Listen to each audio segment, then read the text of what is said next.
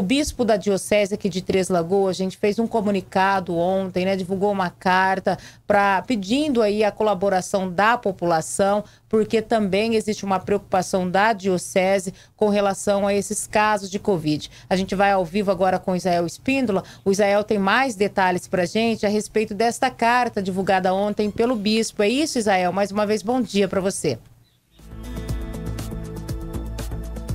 Muito bom dia, Ana. Bom dia a todos que acompanham o RCN nessa segunda-feira. É isso mesmo. O bispo Dom Luiz Gonçalves Knupp emitiu uma carta, né, pedindo aí para que a população, o poder público e profissionais da saúde, empresários, que haja mais consciências e cuidado e solidariedade em prol da saúde pública e, claro, do próximo. A carta também informou que o bispo esteve reunido com os padres da Diocese de Três Lagoas, né? As cidades que compõem a Diocese é Três Lagoas, Selvíria, Paranaíba, Aparecido do Taboado, Água Clara, Brasilândia, Inocência e Cacilândia. Eles estiveram reunidos de forma remota, ou seja, uma reunião online, onde o bispo pedia para os padres mais reflexão e, claro, oração para as famílias que tiveram aí, é, que perderam né, seus entes queridos para esta pandemia.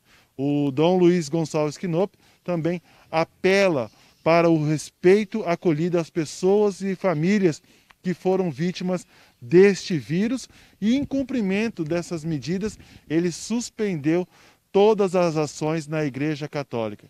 Não há missas, não há novenas, foram suspensas para a fim de evitar a aglomeração.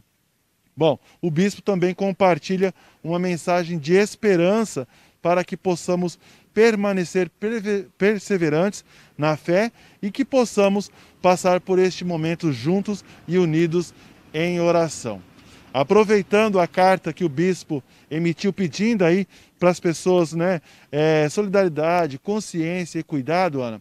Ontem viralizou um vídeo no WhatsApp, até vou pedir para o Antônio Luiz inserir, de uma carreata que foram que mostrando ambulância, polícia militar, inclusive o alto-falante pedia para que as pessoas ficassem em casa.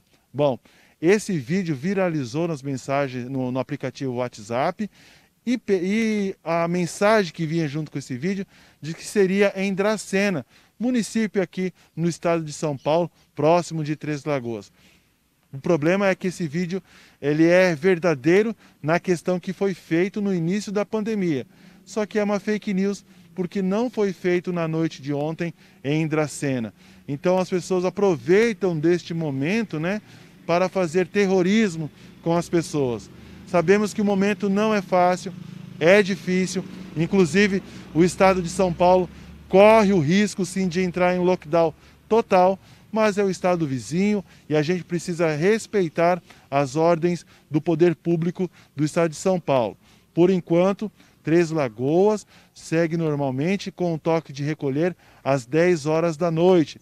E as pessoas que gostam de promover o terror, está aí a carta do bispo pedindo consciência, respeito também para as pessoas que perderam ah, os seus entes queridos. A Covid-19 não é uma brincadeira e nós estamos vivendo o pior momento desta pandemia. Venha calhar então a carta do bispo pedindo para as pessoas respeito e que possamos orar aí para que a gente possa passar de uma vez por todas dessa situação.